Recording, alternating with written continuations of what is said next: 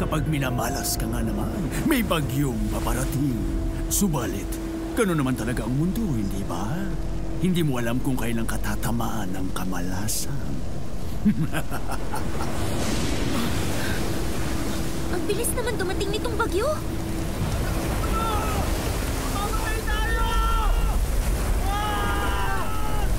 Danger, Chris!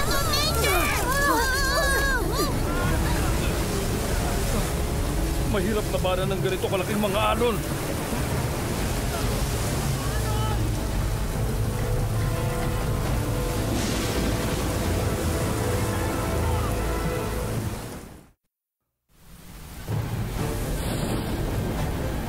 Wala nang tatalo pa sa paghasik ng kaguluhan at pinsala. Ngayon, mga Tagalupa, makikita nyo ang tiyak na kapahamakan ng inyong munting mundo!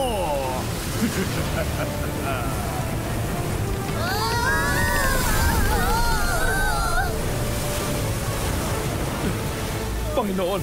Panginoon! Lumulubog na po tayo! Bakit kayo natatakot?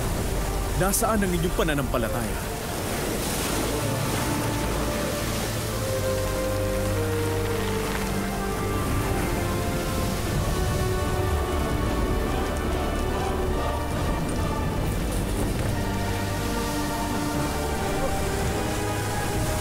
Sinasaway kita!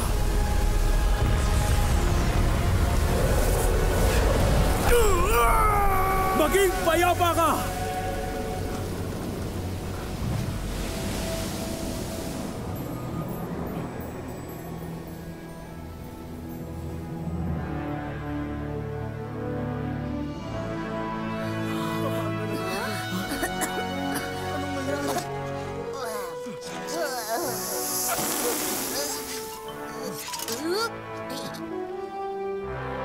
Wow! Nagawa ni Jesus pigilin yung malakas na bagyo?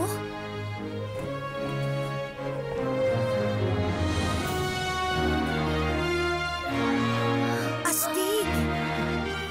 Yun na talaga ang tinatawag na totoong himala.